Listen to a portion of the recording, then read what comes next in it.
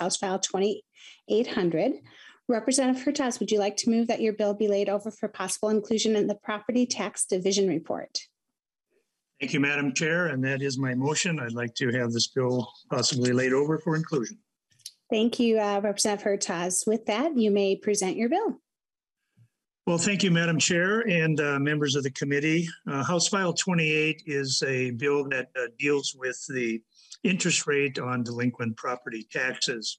For those of you who receive a property tax statement, you may have looked at the reverse side of it and noticed that if you don't pay your property taxes on time, there's both a penalty on a monthly basis and an interest rate. And these uh, both uh, kind of work in tandem and accumulate against the unpaid balance until paid. So, members, um, some historical context uh, for those who maybe were property taxpayers back in the 70s. We had double digit inflation rates. And uh, it's my recollection that uh, way back then, uh, the interest rate was raised on delinquent property taxes to be commensurate with the market at that time. Uh, subsequently, um, our market has changed and the interest rates have been extraordinarily low for a very long time.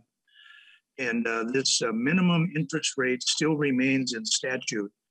And so, to that uh, is what this bill is trying to address and uh, make it uh, less expensive for people to pay their delinquent property taxes and to redeem uh, their property if they should find themselves in foreclosure.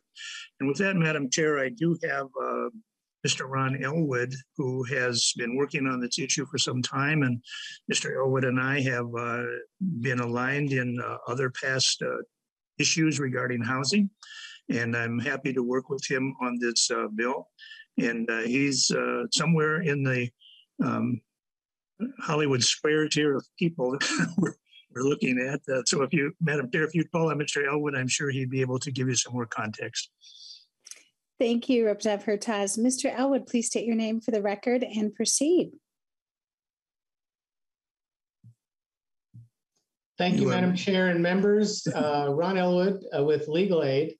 And uh, first, I just want to thank Representative Hertaus for carrying this bill. It's always a pleasure to work with him. Uh, And Chair Youakim, thank you so much for hearing it and co-authoring it. I really appreciate it. Um, This statute was put in place back in 1990 when the 30-year fixed interest mortgage rate was 10.13. Um, Just by contrast, the rate as of December 2nd, 2021 was 3.05. Um, And the rate uh, has not reached double digits in, since November 1991. Under the current statute, uh, annually, the Department of Revenue is uh, obligated to set the interest rate based on a uh, uh, six-month, uh, the prime rate charged by banks during a six-month period uh, ending on September 30th. And that, that, as I said, the rate, uh, the most recent rate was 3.05. Um, But the law says that if the rate is lower than 10%, then the rate shall be 10%. So in fact, it's a floor of 10%, which obviously is exceedingly high, so out of step with current rates. And uh, the reason that this is so important is because it creates a barrier for homeowners to repurchase their homes once they hit tax forfeiture. And of course, nobody wants the counties, nobody wants the the the homes to to go into tax forfeiture. It's much better if the homeowner can redeem. And so that is the purpose of this bill. I want to thank the Association of Minnesota Counties and uh, MICA as well for uh, their help on this bill and their support of the bill. Happy to answer any questions. Appreciate your support. Thank you very much. Thank you, Mr. Elwood. I want to note that Representative Hassan has arrived. Um, and also that we opened up um, te- uh, testimony to members of the public and no one has signed up. Um, members, are there any questions for Representative Hertaus?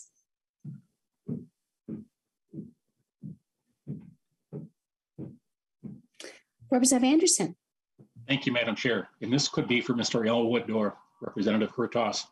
Um, I had some folks contact me asking about the process, this entire process of buying back forfeited property. And they were saying that somebody could make a minimal payment, a hundred dollars a month or something to keep, keep their, the property from going into foreclosure. Then I talked to some assessors and auditors and they said, no, there's a three-year process where you can establish a payment plan to get back in, in uh, current, current status. So Mr. Elwood, what is the process for a, a person or a family trying to get property back out of foreclosure? You could generally give us uh, how it's done. Thank Um, you, thank you, Representative Anderson, uh, for that question. Thank you, Chair Youakim. Um, You know, there's, there's several ways that property can go into foreclosure. Probably the most frequent is for non-payment of a mortgage. Uh, However, you can also uh, go into uh, forfeiture for non-payment of property taxes.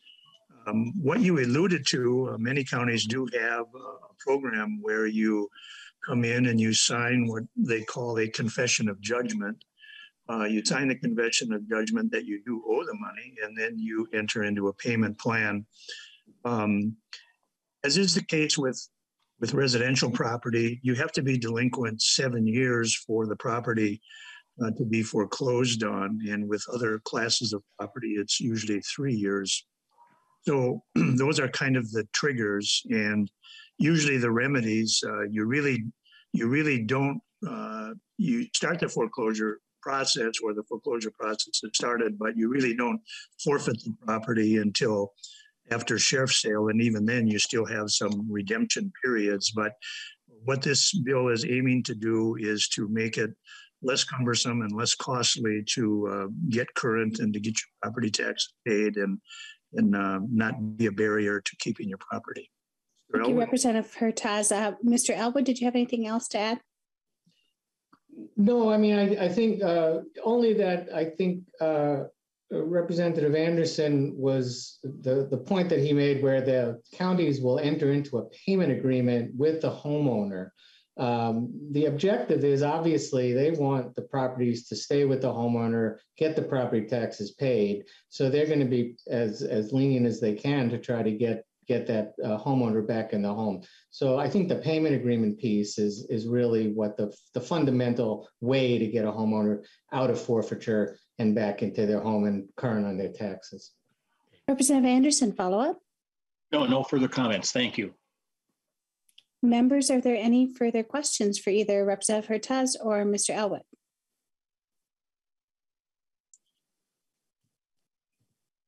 With that, Representative Hertaus, closing statements.